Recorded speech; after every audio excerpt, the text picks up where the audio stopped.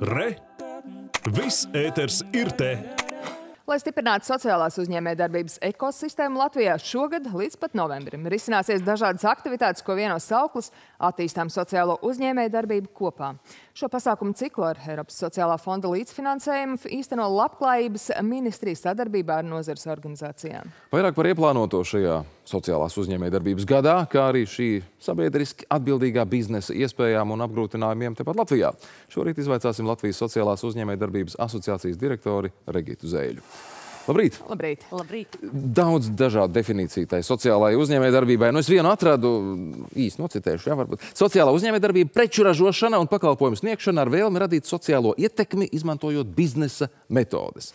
Mērķis ir izsināt kādu sociālu problēmu vai radīt labumu plašākai sabiedrībai. Nu, tas būtu tas pavisam īsais, varbūt ne gluži ar jā vai nē, es pieļauju, ka tas vairāk ir jā, bet kas, eh, kas ir tas, kas eh, visvairāk ir jāizceļ, jūsuprāt, šajā definīcijā? Kam ir jāpievērš uzmanība, kas to sakni vislabāk raksturo sociālajai uzņēmējdarbībai? Pirmkārt, ļoti precīza definīcija, un es domāju, ka tā pati sakne ir uh, radīt pārmaiņas dažādiem izaicinājumiem, ar kuriem sastopamies un ar ko sastopas mūsu sabiedrība.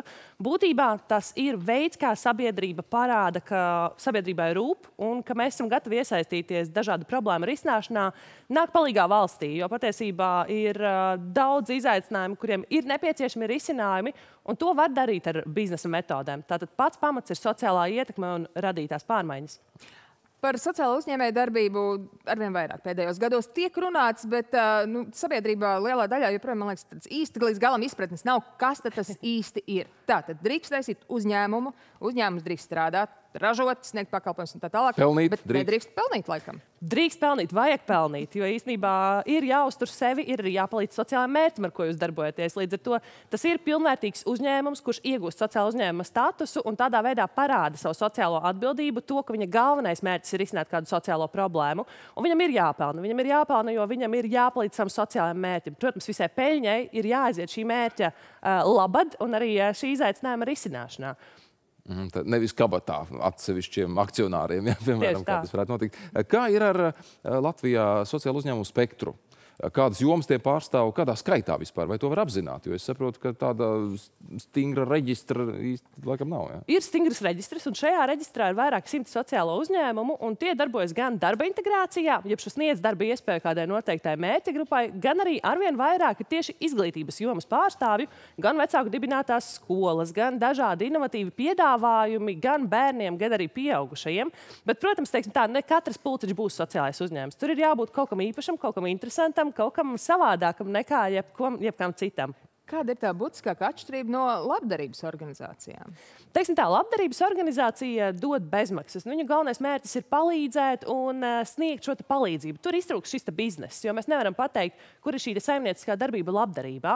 Protams, ka arī sociālais uzņēmums var nodarboties ar labdarību. Tas var arī būt viņa galvenais mērķis, bet viņam ir jāatrod šī saimnieciskā darbība, bizness, ar ko viņš ikdienā nodarbojas. Mēs zinām, ka no 18. gada ir spēkā sociālā uzņēmuma likums, kas tur paredz gan noteikts priekšrocības, gan arī definē vairākus parametrus. Bet kā ir ar uh, to nosauksim par ekosistēmu vai vidi sociālajiem uzņēmumiem? Cik tā ir tāda labdabīga vai labvēlīga Latvijā? Cik viegli augt, rasties, pilnveidoties? Um, ir iespējas, noteikti ir iespējas, un tīpaši šogad iespēju netrūkst uh, visiem ekosistēmas dalībniekiem, jo, protams, sociālai uzņēmumi nevar darboties, ja nav šī atbalsta, iesaistoša vide, un šī vide ir jāveido. Un tāpēc šogad mēs strādājam gan ar publisko sektoru, pašvaldībām, kurām ir iespēja attīstīt sociālo uzņēmējdarbību savos novados, gan arī ar citām valsts iestādēm, atbalsta organizācijām, kuras strādā ar uzņēmējdarbības atbalstu, un arī ar pašiem sociālajiem uzņēmumiem, un arī tiem, kuriem interesē kļūt par sociālo uzņēmumu. Uh, nu, diemžēl jāteic, ka diezgan bieži nāks runāt par dažādām birokrātiskām tādiem apgrūtinājumiem un šķēršļiem.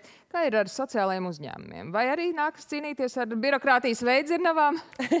nu, teiksim tā, uh, mūsu valstī ir tā, ka, uh, ja ir kāds atbalsts, tam pretī ir jābūt arī kontrolai. Un tas droši vien ir ne tikai mūsu valstī, bet jebkur, jo ir skaidrs, ka uh, kur ir atbalsts, tur ir kontrola. Tā. Un tāpēc uh, tas iet, diemžēl, vai par laimi roku rokā. Uh, bet uh, birokrātija šeit ir, bet tajā pašā laikā tā ir pārvarama. Es teikšu tā, ka labklājības ministrija ir viens no patīkamākajiem valsts partneriem, ko var iedomāties. Nu, ko mēs varam secināt, ja ir gribēšana, tad jābūt arī varēšanai, tad jau arī var noteikti darboties sociālās uzņēmējdarbības laukā. Tieši tā, un, ja ir interese vēl līdz 30. janvārim, var arī pieteikties dažām, dažādām atbalsta programmām. Nu, tas ir, es saprotu, ka tur ir dažādas tās kvalifikāciju iespējas, gan par, ai, dienās es tagad īsti neatcerēšos uzreiz, inkubātori, ja, un, un, un, un tam līdzīgas kvalifikācijas. Tas, tas ir sarežģīti šajā ietrāpīt programmā, vai tur pietiek uzrakstīt, nu, ar diezgan lielu varbūtību ir iespēja tikt atbalstā.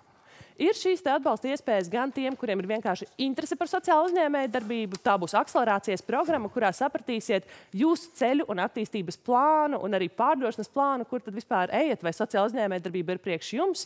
Un savukārt inkubācijas programma būs vairāk piemērota sociālajiem uzņēmumiem, tiem, kuri jau darbojas ar sociāla uzņēmuma statusu un vēlas attīstīties jau tādā nākamajā līmenī. Un abas šīs programmas mēs arī īstenojam ar saviem uh, sadarbības partneriem. Gan sākumam, gan jau tādai pātrinājumu piešķiršanai. Ja, Tieši tā, visiem būs ko darīt. Tas bija tas vārdiņš - akcelerācija. Tā.